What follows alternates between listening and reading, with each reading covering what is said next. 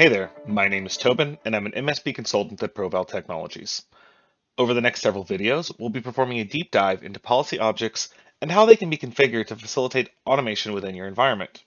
In our VSA Basic series, we introduce you to the concept of policies and how objects can be configured to automate endpoint settings within the VSA. If you need a refresher on this, you can find it on our channel. In a previous video, I discussed how to create a monitor set to monitor the process Outlook.exe if it goes down. In this video, I'll be discussing how to create a view to show machines that have Outlook.exe installed. This way we can utilize it and the monitor set in a policy so that you can be alerted if the software isn't running. This policy will be covered in a separate video. Let's get into it. So to create a view, we need to select the New button next to View to open up our View window. The first thing that we have to do before we can make any edits is save and provide it a name. So let's select Save As, and let's call this Outlook.exe installed. Let's select OK.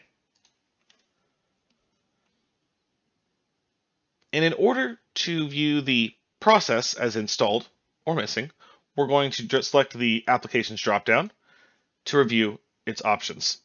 We have contains or missing, as well as version string.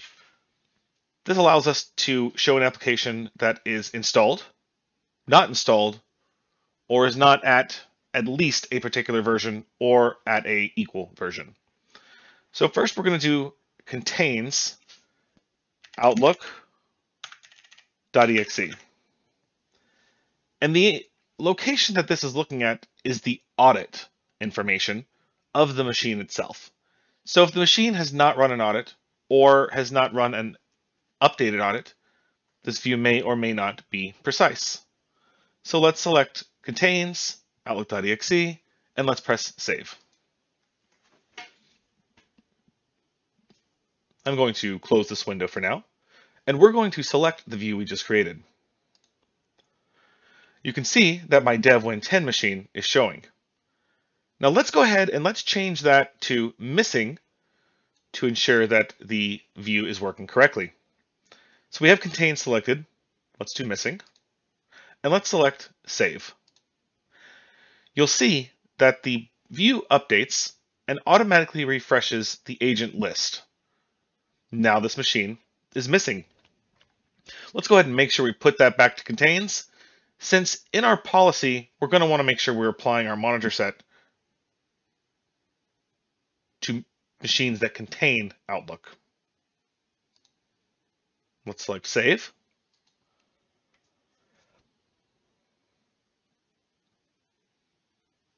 The machine is now back. We'll close our view window. And that concludes our discussion on creating a view that displays all machines with a specific process. In a future video, I will show you how to use this view and a monitor set within a policy to be alerted if the application fails to run. A view of this type can be used to show machines that are missing an application or do not have a specific version, not just what's installed. So keep that in mind. And there are additional filters that you'll be able to add in the future as well. Thanks for watching. We post a new video every week to share our knowledge on Kaseya, ConnectWise Automate, ConnectWise RMM, and more. Let us know what else you'd like to see. Have a great day.